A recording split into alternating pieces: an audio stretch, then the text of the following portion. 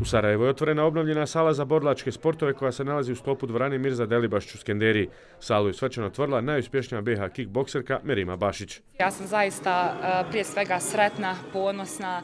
Kao što vidite ovdje su ovaj, mnogi ljudi iz sporta, svi ljubitelji sporta i oni koji nešto znači u ovom sportu došli su da, da provedu sa nama ove radosne sate otvorenja jedne dvorane za borlačke sportove koje je zaista sigurno, e, mislim, s ponosom kažem, jedan od najljepših u Bosni i Hercegovini, ako ne sigurni u regiji.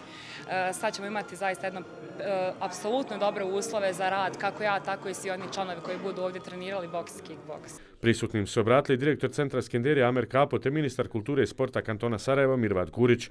Sala je dobila potpuno novi izgled, tapete, tatami, kvalitetne vreće i ostalo opremu te novi ring. Ova novo otvorena u novom ruhu dvorana je sigurno postrijek i mladim da, da dođu, da, da svoje vrijeme posvijete borlačkom sportu, I, I naravno, to je jedna pozitivna priča danas u ovom haotičnom e, e, vremenu da, da neko investira poput Merime Bašić u obnovu sportske dvorane i ja sam je zahvalan, a naravno ovim putem pozivam sve mlade Sarajlije i Sarajke od, od 13 do 20 godina da dođu i besplatno treniraju u školi boksa Kamp Sport Peljto. Otvorenji su pristovali značajni BH sportisti kao i čelni ljudi i prijatelji BH borlačkih sportova. Među poznatim licima bili su i Damir Beljo, Dževat Potura, Kadnan Ređević, Almedin Fetahović, Marina Spasić i mnogi drugi.